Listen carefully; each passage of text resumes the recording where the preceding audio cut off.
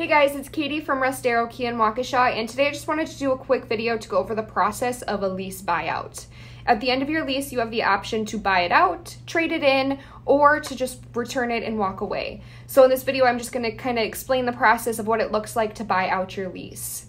So when you take this lease out at the beginning, you're given a lease buyout number. That number does not change throughout the length of the lease, and that is the sale price of the vehicle when you come back to buy it out at the end.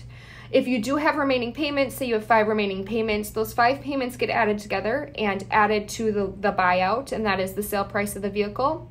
Uh, if there are no remaining payments, then it is just the buyout number. So from there, it is much like purchasing a used vehicle. So you take out a loan for that amount. You have the opportunity of purchasing warranty or whatever you may want to protect it, gap coverage to protect your loan.